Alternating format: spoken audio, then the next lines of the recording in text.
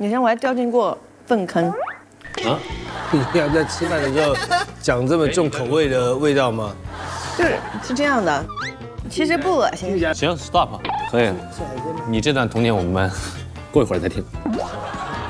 我想听那段，可是粪坑啊，因为听起来就很好奇呀。其实不恶心，听起来很美味的样子。它那儿有一个桃花树，我看上面有只桃花，我想去摘，我好开心，跟我的小伙伴。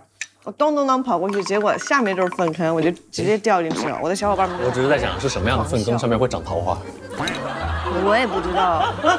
肥料好，它所以是花开的也好吧？你。